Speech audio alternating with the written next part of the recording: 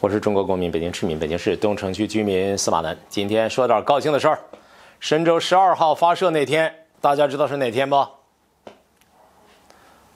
不用记具体日子，我告诉你，是中国首颗氢弹爆炸成功纪念日。现在神舟十三号要发射了，十月十六号发射，确定了，具体时间有零有整。为什么要确定这个时间呢？告诉你。确定这个日期是因为啊，这个时间是我国首颗原子弹爆炸成功纪念日。有人说中国航天呀就这么浪漫，我要说的是，中国航天如此让人泪目。大家想想，毛主席、周总理。如果得知中国今天的航天已经走到了这个地步，他们该多么欣慰！当年一穷二白，当年赤手空拳，当年国外被人封锁，当然我们受到帝国主义、社会帝国主义打压。那个时候，毛主席、周总理领导着全体共产党员、中国人民艰苦奋斗，所以。那一代人，他们为当代中国的一切发展和进步，奠定了根本的政治前提，奠定了制度基础，奠定了物质条件。今天我们说什么成绩的时候，我们都不能忘了：吃水不忘挖井人，乘凉不忘栽树人。十三号是神舟十三号，马上就要发射了。发射倒计时，我们期待着啊，十月十六号这激动人心的时刻。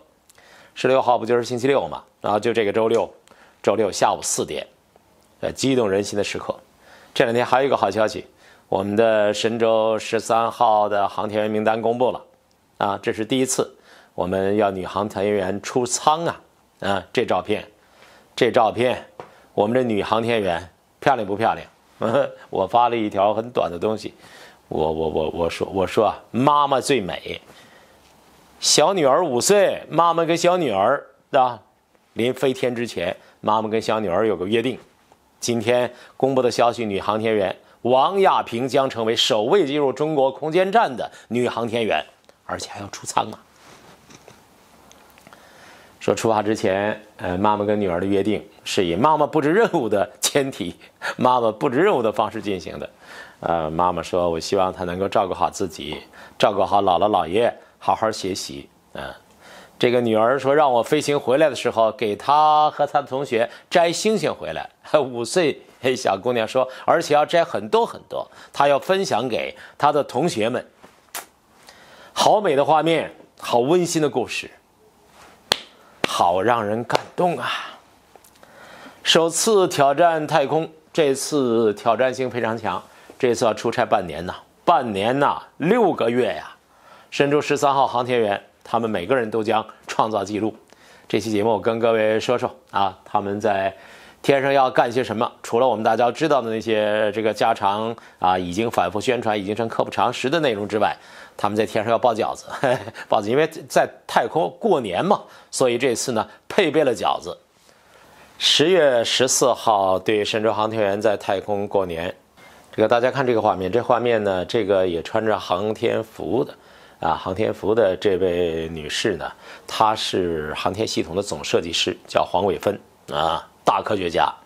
她说呀，因为神舟十三号乘组呢将在轨道过年，这是中国航天员第一次在太空过年，在自己的空间站里过年，所以科研人员为他们配备了饺子。啊，过年的时候呢，穿着和平常有点区别，所以服饰上有所考虑。过年的时候，全国观众可以通过电视了解航天员他们怎么在太空过年。对女航天员的生活和健康，这次呢，在保障措施方面也有一些新的这个进步，新的这个提升。我不知道他们这个在太空过年的时间。呃，吃饺子什么时候？应该大年三十儿吧？大年三十儿不正好是咱们看春晚吗？所以春晚应当有一个节目，特别感人至深的节目。我们的英雄航天员第一次进入中国空间站的女航天员和两名男航天员，他们一块儿，这饺子不用包了吧？就吃饺子啊！热情洋溢，载歌载舞，天上地下互动，这画面想来就让人激动。这次三个航天员呀，他们出征之前一个月。神舟十二号三个航天员刚刚返回来，这三名航天员翟志刚、王亚平啊、叶光富，他们呢要乘坐我们的飞船，就到我们空间站去了。房子里不能没人呢，房子里有人呢，房子里还得干活，房子里还得搞科研。这一次六个月，大家想想，这六个月的确是不容易。但是这三个航天员呢，他们充满信心。对这三个呃三人组、三人组合来说。他们创造什么样的记录呢？让我们做一点了解。指令长叫翟志刚，翟志刚，我跟你说，我骄傲。为什么我特别为翟志刚骄傲？因为翟志刚东北人儿，东北人儿，呃，担任神舟十三号指令长。他呢是现在有个称号，就是航天英雄一词。此前他的业绩足以证明了他是航天英雄。因为零八年七月二十七号神舟七号载人飞行任务，他完成了首次太空行走。啊，杨利伟呢是杨对。今天是中国载人航天飞行第呃第十八年呢，十八年前杨利伟啊，我是中国航天员杨利伟啊，出发。但是翟志刚他是第一个在太空行走的，完成了中国人在太空的第一次行走，所以是太空漫步第一个中国人。十三年之后，他现在已经五十五了，五十五岁，我们好多人都觉得自己老了，身体不行了，记忆力减退了，能耐不行了，睡觉睡不好了，胃肠也不好了。翟志刚他每天大运动量的训练，科学训练，所以呢，五十五岁的翟志刚小老头，东北小老头，哎，不能叫小老头，小伙子一样，保持着饱满的这个热情，然后呢，良好的精神状态。翟志刚的性格，我们东北人知道吗？东北人说过了山海关都是赵本山，我们翟志刚同志跟我们东北人，呃，小爷们一样，呃，自称带有东北人特有的幽默细胞。所有跟翟志刚打交道的人呢，都都都说：“哎呀，他太好玩了啊！只要他出现，现场充满欢乐。”神舟七号任务结束之后，呃，翟志刚啊回来，不是人记者问他吗？问他问他这个各种各样的问题，他回答，大家都咯咯笑，记者现场都忍不住笑。你现在是电视直播，比方说人家问他发射的时候你是什么感觉？他笑着说：“当时吧，就好像有人从我背后咣一脚。” 我把我从正面踢到反面，完了之后呢，我就悬那儿了，这不是我们东北人表达的特点吗？然后呢，我就悬那儿了，啊，出舱的时候您当时是什么样的体验呢？他说出舱的时候我心情，呃，则是就就就就一打开吧，满眼蔚蓝，但紧接着低头一想，不对劲儿，外太空应该是黑色的，怎么是蓝色的？哦，原来还是地球。翟志刚幽默风趣，但是他非常沉稳。航天员的心理素质啊是最重要的。他是指令长哎，这三个人他头他经验丰富，甚至呢经过生和死的考验。神奇任务的时候，呃，这个翟志刚在刘伯明和金海鹏的配合之下，他第一次完成了太空出舱行走。很多人不知道，后来有有报道说了，三百四十三公里的太空轨道上，中国人第一次和宇宙啊直接握手。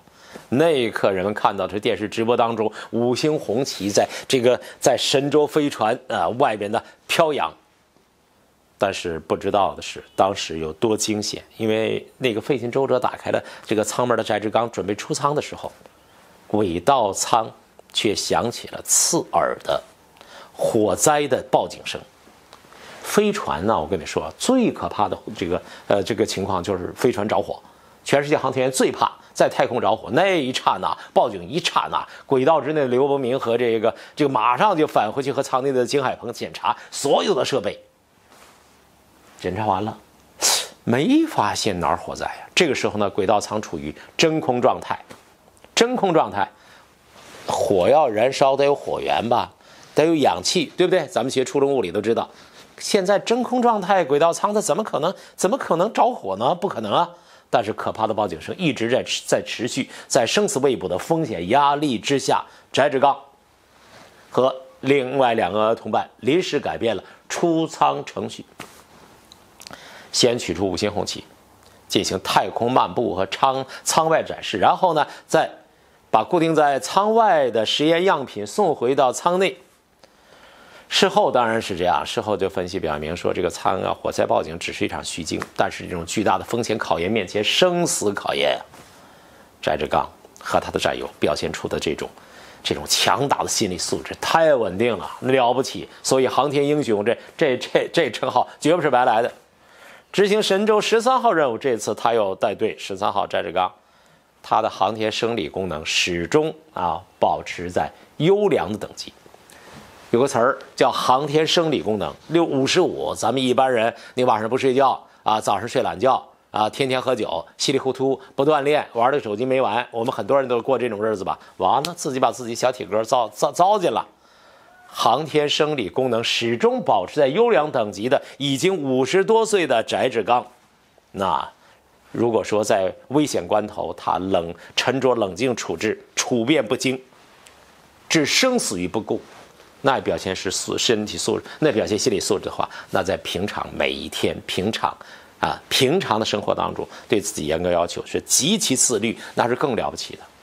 翟志刚已经二十四年的航天生涯，对他来说，他完全知道每一次太空的机会，出征太空的机会多么难得，和所有航天员一样。支撑翟志刚的是日复一日的训练，没有日复一日的训练，你怎么可能保持优良的航天生理功能？为什么？热爱，是热爱，也是责任。他认为自己就是为飞行而生的，飞行带给他的荣耀和自豪，能让他一步一个脚印地做好眼前的事情。除了这个，没别的东西。神舟七号任务之后，翟志刚成了一名显赫的大英雄，航天英雄。十三年之后。这次对他话来说，最难的呀，不是训练有多难，啊，也不是工作有多难，也不是学习有多难，最难的是怎么把一个最简单的事情用最高的标准做好，而且热情十遍百遍的重复做一件事情，这叫什么精神？这就航天员精神啊！咱们平常人如果呢，这个用啊百倍的热情，十遍百遍啊，最高的标准做好每一件事情。那司马南频道就不会出那么多的字幕差错。小编，我骂了也没用，我训了也没用，反正经常出差错，我自己也口误连连，我自己呢水平也不高。但是你说像我这样的人都已经老朽了，朽木不可雕也。我可以有航天员的精神，但是要把我水平提高到呼吸机那种程度，那怎么可能呢？想也不要想。所以，如果做自媒体的人到空间站去选一个人的话，推荐呼吸机，我就不去了。啊，胡锡进比我年轻，也五十多岁。现在是这样，随着这个年龄增长啊，年龄的增长，经验的增加，翟志刚他对那套训练他太熟悉了，不但熟悉，而且他形成了独到的、深刻的见解。所以现在教练在训练他们的时候，翟志刚他不单是一个参与训练，而且他会根据自己的实践，然后呢提出一些提出一些这个想法。可是他经验这么丰富。大家那么虚心向他求教，他对一切了如指掌，而且经在太空经验他最为丰富，他依然是小学生的心态，这是什么？这也是航天员精神！我们很多人，过来人牛，觉得自己吃的盐比别人吃的饭都多，觉得自己走的桥比别人走的路都多，居高临下，牛哄哄。尤其是当个什么官儿啊，什么长啊，什么书记啊，什么什么什么头啊，好家伙，你看那威风，抖得不得了。所以，翟志刚的精神有很多很多方面都值得我们学习。我们不一定学习他上天，但是我们要学习他有这种精神境界。翟志刚他自己给自己有个定义，他永远把自己定义为一个参加新任务的新航天员，先按照要求把训练完成之后，再去和呃航天员教练。沟通自己的想法，结合自己的太空经验，提高训练的针对性。翟志刚认为，这才是一个老航天员应该做的，才能在未来的飞行任务当中发挥主观能动性，引导啊，引导飞行。实际上，我们这东北老乡翟志刚啊，航天员对他的评价，航天教练对他的评价太高了，说他对任务的理解和思考啊都非常深入，说他常常能够化繁为简。深入浅出，尤其是在出舱训练方面，教员们经常把他的操作步骤录制成视频，让呢大家学习。我们现在很多年轻航天员呀，同样是航天员，许多人也评价说志刚啊，他不仅跟他在一起不但是快乐、放松，而且收获信心，都是正能量。他说话很直截了当，知无不言，言无不尽呐，而且给予所有的人以鼓励，所有的人跟他在一起欢天喜地。高兴啊，提高效率，兴奋从容。翟志刚他这个人很多人不知道，那这次我不知道。那空间站呢，地儿大了是吧？时间那么长，半年，展示一下我们那个东北老乡翟志刚的才华好不好？你知道他除了体育活动，他非常喜欢影视歌曲，他有个拿手的好戏，你知道干嘛吗？吹萨克斯，吹萨克斯，那是他的拿手乐器。神舟七号的时候，他曾经提到过，说由于自己日常最多的就是训练，已经好久没吹萨克斯了。为了磨砺心性，他在训练之余，他还写字，嘿嘿，书法爱好者。你看，我们两个有共同爱好，东北人还共同爱好书法。翟志刚的屏息凝神写字，挥毫泼墨，相当有一手，真是不得了。所以这次如果翟志刚啊，萨克斯不知道这东西，反正是有点重量，拿上去让不让，允许不允许，条件行不行，这咱不知道。但是翟志刚展示一下，一张纸能有多重啊？带到太空去，过年的时候展示一下。哎，我看也是个不错的选择。祝全国人民春节快乐，给您拜年啦！关于女航天员啊，我们自己的空间站第一次女航天员飞天这个事儿的介绍一下。王亚平，王亚平八零后，标准八零后。你瞧人家一九八零年出生，其实大家对他不陌生啊啊，他太空教师啊。这次是王亚平二零一三年神舟十号任务之后再次进入太空，所以呢，他又增添了一个。啊，标签是什么？首个进入中国空间站的女航天员，首个空间太空站停留时间最长的中国女航天员，以及首个出舱的中国女航天员，三个首个啊！王爱萍不简单。神舟十号任务的时候，王亚平在呃在在聂海胜、张晓光的这个配合之下，张晓光，我跟各位吹个牛啊，我跟张晓光一块吃过饭。我跟杨利伟照过相，我跟张晓光吃饭的时候，他他也吹萨克斯，他唱歌唱的相当好，而且呢，他也是，这也是跟翟世刚一样，是我们东北人，我们东北出航天员，服不服服不服，我们东北出航天员，这个王亚平那次呢，完成了一趟四十多分钟的太空授课，太空授课在地球上的授课，这太简单了吧？但是太空授课利用失重环境，他演示了多项物理实验。这堂课，学生感兴趣，我告诉你，全世界都感兴趣，全世界高度关注，所以呢，王亚平就有了一个称号叫太空教师。从那以后，他经常收到很多孩子写来的信件，说王阿姨太空授课讲的那个实验怎么样，怎么怎么样？说王爱平啊，他感受到了作为航天员上太空啊啊太空授课那种美好的体验。这个航天员，你发现没一个特点没有？女航天员。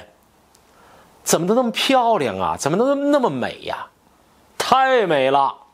中国的这个女子应该怎么美？什么叫时代之美？什么叫嘿？我是觉着那种英气啊，那种健康，那种没有雕琢、没有病态的美。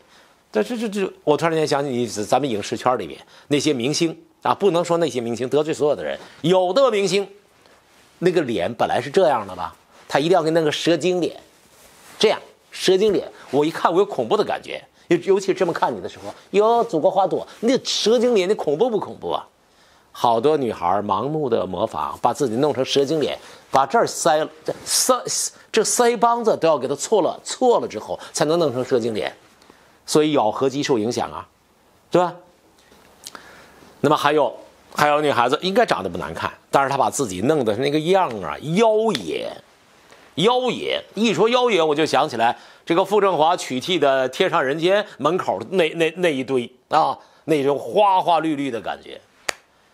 到底什么是美啊？到底什么样的姑娘是漂亮？我觉得英雄的女航天员带给我们的，如果说我们的男航天员是是是个大写的阳刚的一撇，那么我们女航天员就是阴柔的一捺，这种阴柔当中也透着英气。所以，我我是有一种感觉，我看有的那个女演员，对，经常有人问我，你认识不认识谁谁谁呀？因为我我这么多年，我四十年我就在北京，北京二环、三环啊、四环圈里转来转去，演艺圈啊，什么文化圈，你说我得见多少人呢？实话说，我一点都不是凡尔赛，我是看那帮那个滋啦吧啦乱叫，后边跟着粉丝的那种水光流滑的油头粉面的人呢，我不看，我不看，当然我也记不住，我没必要看。当然有小粉丝问我，我就说我我没见过。其实我可能见过，但是我见了也记不住。为什么？我不想记住，我没印象。我为什么要记住他们呢？王亚平这样的女子，那是时代之美。王亚平这样的女航天员的身上，我觉得他有上个世纪五六十年代的中国中国人那种翻身啊，那种蒸蒸日上的伟大祖国从此走向繁荣富强那种时代的风貌啊，自信的这个笑容洋溢在他们脸上。所以从这个航天员身上，我们看到那种时代的精神风范，风范大国民。这次啊，对对对，我就又说跑题了。我本来是想说，在太空实验最难做的水球实验。水球实验，王亚平持续晃动的水球当中，水球在晃，它往里注水呀，嗯，悬空啊。地面团队非常担心呢，水球会会不会破裂？但是呢，最后水球完美呈现，所有人发出啊醒悟的惊叹啊惊叹，这太牛了！平时绝对功课做足了，他是想给人们一个惊喜。王亚平事后说了，说实际上在准备过程当中啊，更大的水球都曾经实验过。太空教室真是太美了。很多人不知道王亚平她怎么就成了女航天员了，原来是开飞机的，开的什么飞机？不是战斗机，不是新型战斗机，是运输机。二零零三年那时候，十八年前，杨利伟呢第一次飞天啊，通过电视，他目睹了。目睹了杨利伟这个飞天，成了英这个中国人飞天第一人。那个时候，王爱萍才二十三岁，她当时就动了当女航天员的念头。那神石飞回来之后，有小朋友问王爱萍说：“那你在太空当中会不会做梦啊？” 他说：“在太空啊，不管做不做梦，我都已经在自己的梦里了。当航天员就是他的梦。”对王亚平来说，神识的任务是他实现飞天的开始，有足够的呃这个足够多的可能重返太空，这是他的航天员生涯和太空之旅啊开始。八年来，他终于经过自己坚持不懈的努力，以自己的状态，以自己的经验，嗯，他迎来了第二次太空的飞行。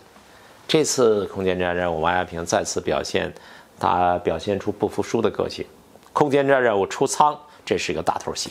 出舱啊！出舱首先是大负荷，大负荷什么概念啊？它跟航天员的比臂力啊，体型臂力展现先天优势。那男的当然厉害了，女航天员加压之后的舱外服装啊，你知道，你知道那要花费多少努力才行吧？这个这个出出舱啊，穿那个服装啊，特别需要力量，特别需要上肢的力量。女航天员呢，她天天生就没有那么大力量。很多人就没有具体概念。你知道出舱，它这个舱外服实验做下来是什么概念吗？二百公斤，二百公斤是多少？四百斤啊！他后来实验的时候，参加这种训练的时候，才知道多要劲儿。在二百公斤的舱外服中工作五到六个小时，二百公斤，五到六个小时。他训练完了之后，手都抖得拿不住笔。吃这份辛苦，当航天员能吃得了航天员这份辛苦的人，那什么困难不能克服啊？所以王亚平那真是了不起啊！那为了提高自己的能力，王亚平就加大训练强度啊，放弃很多假期。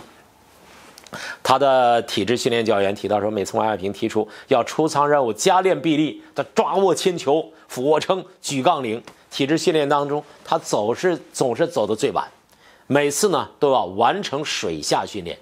王亚平每次呢都都觉得自己很有成就感，他甚至经常和其他航天员比一比谁的肌肉块啊，我的肌肉块也不错，嗯，就是在在这儿，完了，我年轻的时候有点肌肉，都现在完了都卸了。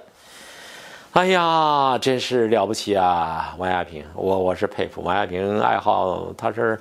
也爱好摄影，爱好音乐，爱好运动，爱好理性，和现在很多八零后的女孩一样，喜欢团结协作类的体育运动，打篮球、羽毛球、双打、田径、接力赛。他认为这种运动让他感受到战斗的幸福感。他喜欢音乐，他的习惯是睁开眼睛第一件事手摸旋钮，然后呢就把音乐打开，在音乐声当中再做其他的事情。这次呢，长达半年的太空生活。啊，王爱萍，她也曾经想过怎么过年呀？过年的准备些什么样的东西啊？所以呢，我们接下来在半年的时间里面有足够的时间看王爱萍啊，中国最美的女子在太空当中的表现。她对这次任务信心怎么样？记者采访的，她说：“都说飞行是不确定的艺术，但对航天员来说，我们在天上的表现最终啊，最终是确定的。他期待能够在太空回望美丽地球，那过一个不一样的除夕。”新面孔叶光富呢和两个航天员一样。关于叶光富的故事，以后有机会再跟各位介绍。时间到了，感谢各位收看，再见。